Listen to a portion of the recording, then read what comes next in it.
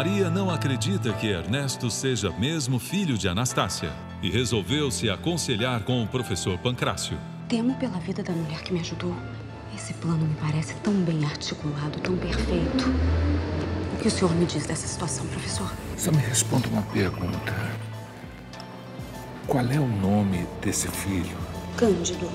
Candinho. Cantinho. Hoje, Eta Mundo Bom.